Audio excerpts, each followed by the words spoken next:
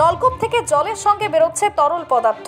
জানিয়ে চরম আতঙ্কে রয়েছেন পশ্চিম মেদিনীপুর জেলার চন্দ্রকোনা দু নম্বর ব্লকের ছোটবালা গ্রামের মানুষজন। কিন্তু আতঙ্কে থাকলেও এক প্রকার বাধ্য হয়ে খেতে হচ্ছে এই তরল মিশ্রিত জল। জানা গেছে চন্দ্রকোনার এই ছোটবেলা গ্রামে প্রায় ত্রিশ থেকে পঁয়ত্রিশটি পরিবারের বসবাস। প্রতিটি পরিবারের মানুষজন সরকারি প্রকল্পে নির্মাণ হওয়া একটি পাম্প ব্যবহার করেন। বিগত পাঁচ ছয় দিন যাবত ওই পাম্প থেকে জলের সাথে তরল পদার্থ বের হওয়ার বিষয়টি লক্ষ্য করছেন গ্রামবাসীরা। গ্রামবাসীরা বলছেন কেরোসিন জাতীয় গন্ধ বেরোচ্ছে ওই জল থেকে। ঘটনা ঘটছে? ছ সাত দিন ধরে এরকম হচ্ছে। কি বিষয়টা কি হচ্ছে? এই তেলের মতো স্পট পড়ে যাচ্ছে জল ধরার পরে বালতিতে। হ্যাঁ আর গন্ধ। গন্ধ মানে কেরোসিন টাইপের গন্ধ লাগছে কেরোসিন কেরোসিন। কেরোসিন তেলে গন্ধ হাঁটছে?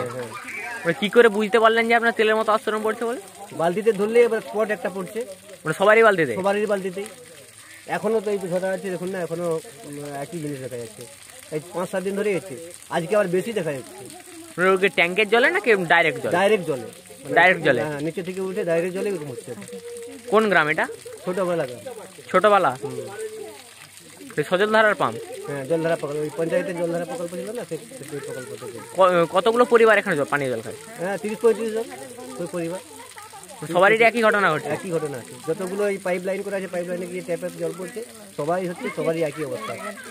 গ্রামের আর এক মহিলা বলেন চার পাঁচ দিন ধরে এই কাণ্ড ঘটলেও হঠাৎ করে আজ থেকে আরও বেশি করে তরল পদার্থ বের হতে শুরু করেছে। গায়ে জল ঢাললেও তেলের মতো পিচ্ছিল হয়ে যাচ্ছে। মাটির নিচে তেল জাতীয় কিছু রয়েছে বলেই তারা অনুমান করছেন। ধরে এরকম ঘটনা ঘটছে? এই পাঁচ সাত দিন হচ্ছে। কি ঘটনা ঘটছে? ওই জল তেলের জলের সঙ্গে তেলের মতন বেরোচ্ছে আর গন্ধ। কেরোসিন গন্ধ। আর খেতে পাচ্ছে না কেউ? আজকে সকাল থেকে এটা বেশি হচ্ছে ভীষণ ভাবে হচ্ছে। মানে ওটা কি ট্যাঙ্কের জলে হচ্ছে না ডাইরেক্ট জলে হচ্ছে? ডাইরেক্ট জলই হচ্ছে। ট্যাঙ্কের জলে? জল সাপ্লাই হয় না। ডাইরেক্ট সাপ্লাই হয়। আমরা তিরিশটা ফ্যামিলি জলটা খাই। মানে গন্ধ ছাড়ছে? হ্যাঁ গন্ধ ছাড়ছে। কীরকম গন্ধ এটা ছাড়ছে ওটা? গন্ধটা হচ্ছে কেরোসিন তেলের মতন গন্ধ পুরো তেল তেল।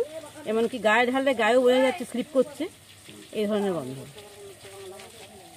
কেউ কি এরকম দুষ্কৃতিরা এরকম তেল ঢেলে দিয়েছে বলে মনে হচ্ছে না সেটা হবে না এটা কোনো মানে কোনো কিছু তলেরই কিছু একটা বিকল্প কোনো খারাপ কিছু ব্যাপার হয়েছে।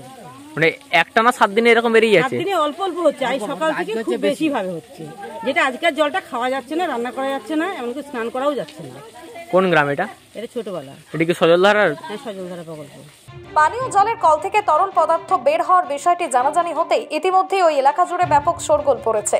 অনেকেই বলছেন সরকারি আধিকারিকদের উচিত ওই জল বা জলের নিচের মাটি পরীক্ষা করা উচিত। কিছু না হোক মানুষের মনে রহস্য উন্মোচন হবে।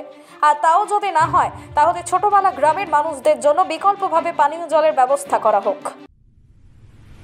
Are you worried about your child's future and cannot figure out which educational institute to admit your child to? Then why delay? Contact Pandit Ishwar Chandra Vidyasagar Mission today. It is a CBSE school which is approved by Delhi Board up to secondary.